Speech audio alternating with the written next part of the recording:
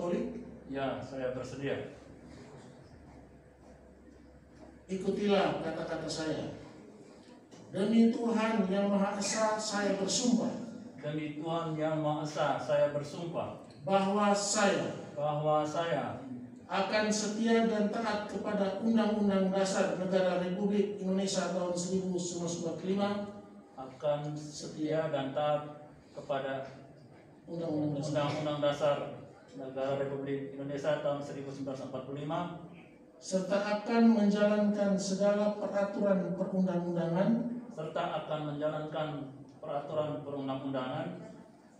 Dengan seluruh-seluruhnya. Dengan seluruh-seluruhnya. Demi Dharma Bakti saya. Demi dharma bakti saya. Kepada bangsa dan negara. Kepada bangsa dan negara. Bahwa saya. Bahwa saya dalam menjalankan tugas jabatan dalam menjalankan tugas jabatan. akan menjunjung etika jabatan akan menjunjung etika jabatan. bekerja dengan sebaik-baiknya bekerja dengan sebaik-baiknya. dan dengan penuh rasa tanggung jawab. Dan dengan penuh rasa tanggung jawab. Bahwa saya bahwa saya akan menjaga integritas. akan menjaga integritas tidak menyalahgunakan kewenangan. Tidak men- menyalahgunakan kewenangan. Serta menghindarkan diri dari perbuatan tercela. Serta menghindarkan diri dari perbuatan tercela. Kiranya Tuhan menolong saya. Kiranya Tuhan menolong saya. Selanjutnya oleh saksi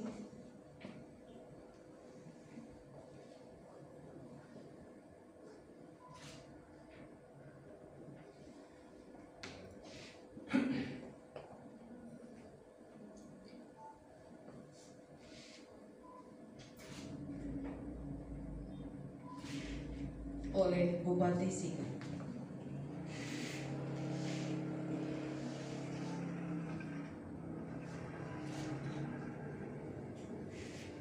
Saksi dan pendamping rohani disilahkan kembali ke tempat.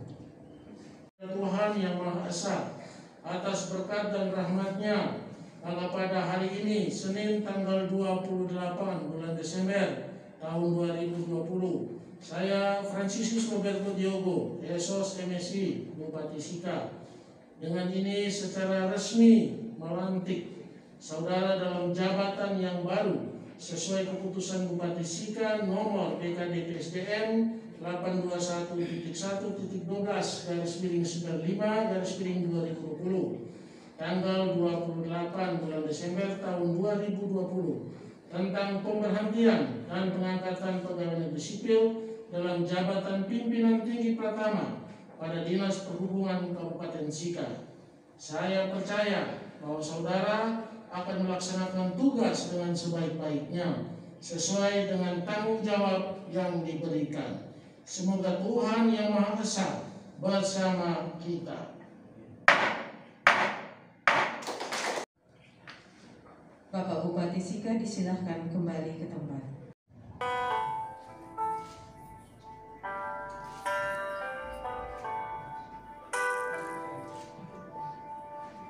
Selanjutnya oleh Bupati Sika.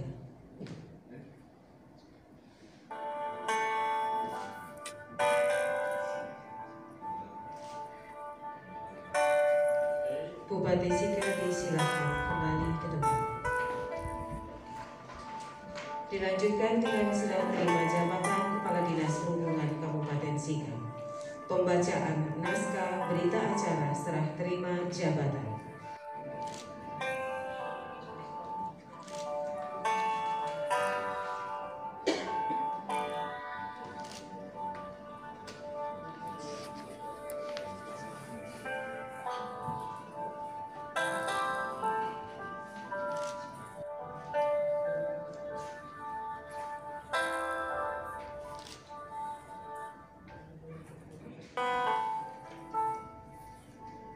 Oleh Sekretaris Daerah Kabupaten Sika.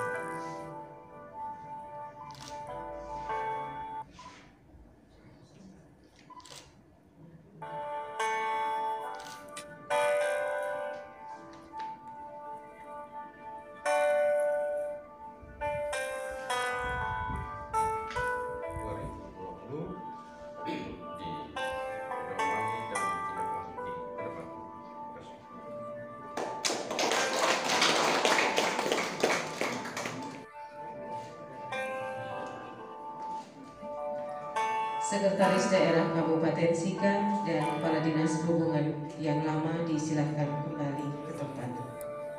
Bupati Sika